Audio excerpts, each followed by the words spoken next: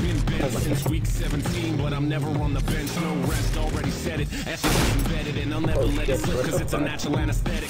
Keep it organic for the ladies with their pit hair. Throwing up their fists in my shows like shit, yeah. Demographics don't matter when your thoughts stay scattered. And you're dabbling, dodging the old wagon. Fuck that, convictions get shattered. No riddles to be solved. Man had a loss of magic. Hat number nine, tripping off a turpentine. ripping something.